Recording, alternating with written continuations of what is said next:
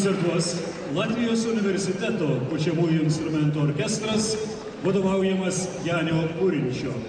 Šis kolektyvas, vienijantis daugiau nei 50 muzikantų iš įvairių Latvijos universitetų ir muzikos mokyklų, buvo įkurtas 2008 m. rugsėjo 1 dieną.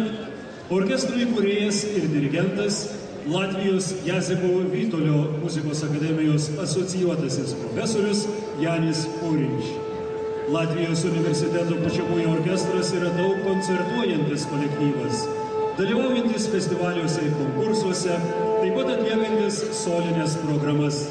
Orkestras nuolat dalyvauja Latvijos Jaziko Vytolio muzikos akademijos organizuojimuose festivaliuose. Trimitų 2008, Žemųjų varinių pučiamųjų dienos 2009, Trombonų dienos 2009. Vienas iš orkestro veiklos tikslų yra atlikti ir įrašyti į kompaktinę plokštelę pasauliniu mastu pripažintus kūrinius chorui ir orkestrui. Pirmoji orkestro kompaktinė plokštelė įrašyta bendradarbiaujant su Latvijos universiteto mišrių chorų Juventus. Buvo išleista 2008 metais, antroji 2010 metais. Nepaisant jauno orkestro amžiaus, jis jau sulaukė didelės sėkmės tiek nacionaliniuose, tiek tarptautiniuose konkursuose. Rimo Gedraičio pjesė Traukinukas. Diriguoja Janis Purinč.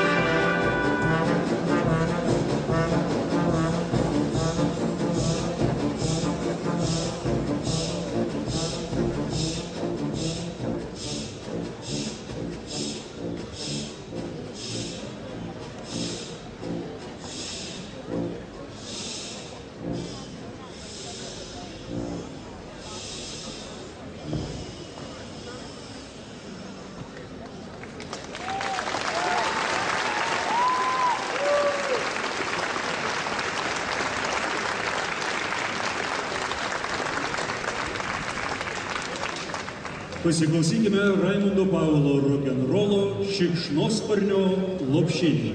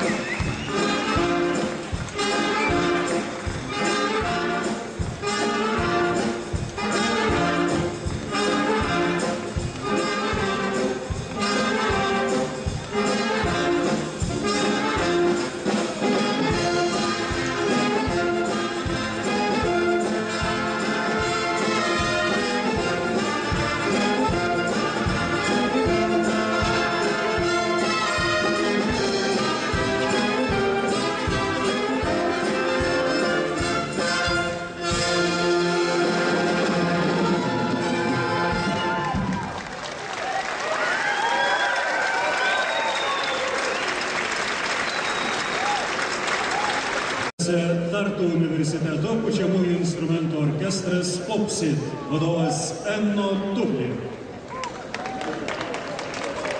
Tartu universiteto akademinis pučiamųjų orkestras Popsit buvo įkurtas 1974